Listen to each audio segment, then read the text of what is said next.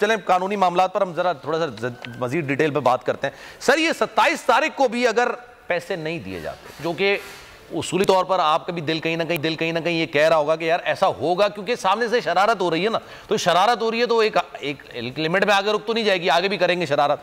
Then what फिर क्या होगा, सर?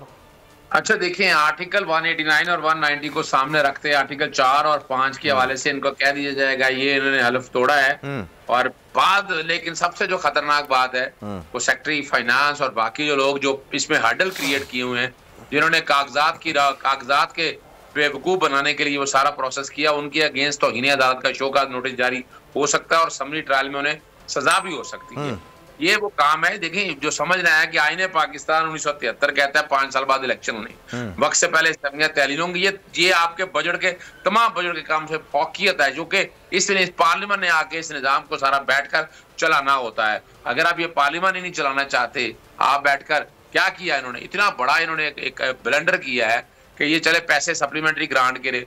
ये पैसे खर्च करने के बाद बाद में आप बोलिए हमेशा से चली आई साल साल से चली आ रही है। कि आप पैसे खर्च कर देते हैं? इसका मतलब क्या है कि कल अदलिया के जो पैसे जा रहे हैं फेडरल कंसोलिडेशन से वो भी रोक लेंगे। हम्म। आप नैब को पैसा जा रहा है वो भी आप रोक लेंगे। तो ये तो नैब तो भी मंशा नहीं और वैसे भी जब जब आप अपना फाइनेंस बिल पार्लियामेंट से पास नहीं करवा पाते इसका मतलब मेजोरिटी आपने खो दी। आर्टिकल 91 सब आर्टिकल 7 के तहत शेख रशीद साहब की तरफ़ से सदर पाकिस्तान को मनासरा लिख रहा हूँ। हम्म। कि जिसमें उन्हें रिमूव करने के हवाले से यानी एतमाद वोट लेने का कहा जाएगा हम्म। शबाज शरीफ और इनको और ये एतबाद का वोट नहीं ले सकेंगे ये भी मैं वक्त से पहले आपको बता देता हूँ। हवाए नफ्स की है हुक्मरानी लुटेरा कर रहा है पास पानी। बोल न्यूज़ के मार्केटिंग हेड आकाश राम ताहा लापता। तफ्तीशी इदारे जवाब देने से कासिर। अहले खाना परेशान बेटे की जुदाई में माँ गम से निढाल। जो बच्चों हिंदू पर आए थे जो पाकिस्तानी।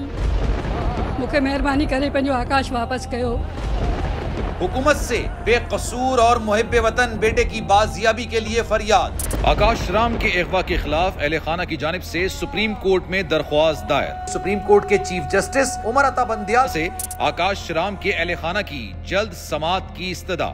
मुश्किल की इस घड़ी में आलमी मीडिया ने भी उठाई आवाज़। सी एन एन आज तक इंडिया टुडे टाइम्स नाउ समेत आलमी मीडिया ने आकाश राम के अगवा के खिलाफ दिया बोल का साथ। उफ क्या जुल्म है। बोल इंसाफ का मुंतजर। सब्सक्राइब करें और बेल दबाएँ ताकि कोई खबर रह न जाए।